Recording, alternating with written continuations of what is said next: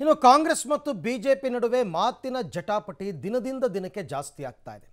ಶಾಂತಿ ಕದಡುವ ಕೆಲಸ ಮಾಡಿದ್ರೆ ಕ್ರಮ ಎನ್ನುವಂತಹ ಕಾಂಗ್ರೆಸ್ನ ಹೇಳಿಕೆಗೆ ಬಿಜೆಪಿ ನಾಯಕರು ರೊಚ್ಚಿಗೆದ್ದಿದ್ದಾರೆ. ಕಾಂಗ್ರೆಸ್ ಸರ್ಕಾರ, ತುಘಲಕ್ ಸರ್ಕಾರ, ಹಿಟ್ಲರ್ ಸರ್ಕಾರ ಅಂತ ಬಿಜೆಪಿ ನಾಯಕರು ಕಿಡಿಕಾರಿದ್ದಾರೆ. ಈ ಎಲ್ಲದರ ನಡುವೆ ಶಾಂತಿಯುತ ಕರ್ನಾಟಕಕ್ಕೆ ಹೆಲ್ಪ್ಲೈನ್ ರಚಿಸಿ ಅಂತಕ್ಕಂಥ ಸಚಿವ ಎಂ ಪಾಟೀಲ್ ಅವರ ಹೇಳಿಕೆ ಈ ನಿಟ್ಟಿನಲ್ಲಿ ಸಾಕಷ್ಟು ಮಹತ್ವವನ್ನು ಪಡ್ಕೊಂಡಿದೆ.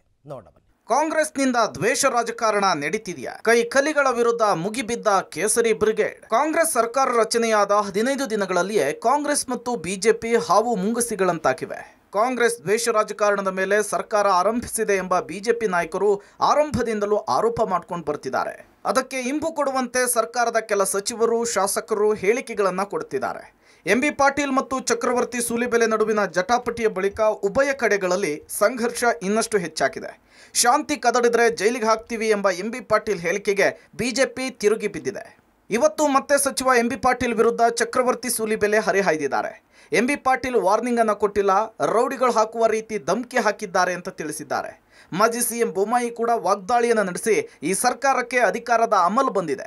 ಅತಿ ಶೀಘ್ರದಲ್ಲಿಯೇ ಕರ್ನಾಟಕದಲ್ಲಿ ಎಮರ್ಜೆನ್ಸಿ ಬರುತ್ತೆ ಎಂದಿದ್ದಾರೆ.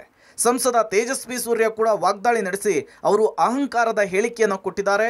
ಸೂಲಿಬೆಲೆಯವರು ಹೇಳಿರುವ ಮಾತಿಗೆ ಸಚಿವರ ಮಾತು ಮತ್ತಷ್ಟು ಶಕ್ತಿ ತುಂಬಿದೆ ಅಂತ ಹೇಳಿದರು.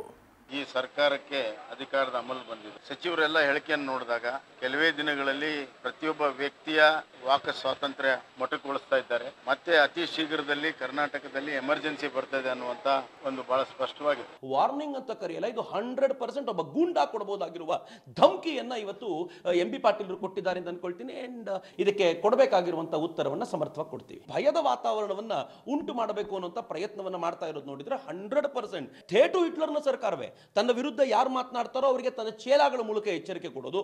ಜೈಲಿ ಗಟ್ತೀವಿ ಎನ್ನುವಂತಹ ಒಂದು ಅಹಂಕಾರದ ಹೇಳಿಕೆಯನ್ನು ಕೂಡ ಎಂ ಬಿ ಪಾಟೀಲ್ರು ಹೇಳಿದ್ದಾರೆ. ಚಕ್ರವರ್ತಿಯವರ ಹಿಟ್ಲರ್ ಆರೋಪಕ್ಕೆ ಮತ್ತಷ್ಟು ಶಕ್ತಿಯನ್ನ ಎಂ ಬಿ ಪಾಟೀಲ್ರು ತುಂಬಿದ್ದಾರೆ. ಅವರ ಹೇಳಿಕೆಯನ್ನು ನಾವು ಖಂಡಿಸ್ತೇವೆ.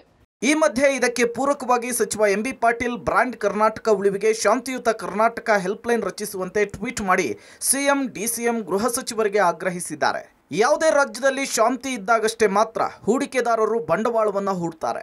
ಶಾಂತಿ ಕದಡುವ ಕೆಲಸ ಯಾರೇ ಮಾಡಿದರೂ ಕ್ರಮ ಆಗಬೇಕು. ಈ ನಿಟ್ಟಿನಲ್ಲಿ ಶಾಂತಿಯುತ ಕರ್ನಾಟಕ ಹೆಲ್ಪ್ಲೈನ್ ಅಗತ್ಯ ಅಂತ ಸಮರ್ಥಿಸಿಕೊಂಡಿದ್ದಾರೆ. ನೋಡಿ, ಯಾವುದೇ ರಾಜ್ಯದಲ್ಲಿ ಶಾಂತಿ ಇದ್ದಾಗ ಅಲ್ಲಿ ಇನ್ವೆಸ್ಟರ್ಸ್ ಬರ್ತಾರೆ. ನಮ್ಮ ಕರ್ನಾಟಕ ರಾಜ್ಯ ಸರ್ವ ಜನಾಂಗದ ಶಾಂತಿಯ ತೋಟ. ಅಂತ ಹೇಳಿದಿಷ್ಟೇ, ಯಾರೇ ತಪ್ಪಿಸ್ತಿರಲಿ ಶಾಂತಿಯನ್ನು ಕರಡುವಂಥ ಏನು ಸರ್ವಜನಾಂಗ ಶಾಂತಿ ತೋಟದಲ್ಲಿ ಯಾರು ಶಾಂತಿಯನ್ನು ಕರಡುವಂಥ ಕೆಲಸ ಮಾಡ್ತಾರೆ, ಅದು ಯಾವುದೇ ಧರ್ಮದವರಿರಲಿ ಯಾವುದೇ ಜಾತಿಯವರಿರಲಿ ಯಾವುದೇ ಭಾಷಿಕರಿರಲಿ ಯಾರೇ ಇರಲಿ ಅದನ್ನು. ಅವ್ರ ಮೇಲೆ ಒಂದು ಸಹ ನಿರ್ದಾಕ್ಷಿಣ್ಯವಾಗಿ ಒಂದು ಸಹ ದಿವಸ ಕ್ರಮ ಆಗಬೇಕು.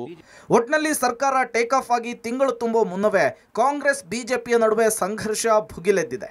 ಮುಂದೆ ಇದು ಇನ್ಯಾವ ಸ್ವರೂಪವನ್ನು ಪಡೆದುಕೊಳ್ಳುತ್ತೆ ಅನ್ನೋದನ್ನು ಕಾದ್ ನೋಡಬೇಕಿದೆ. Political bureau public TV Bengaluru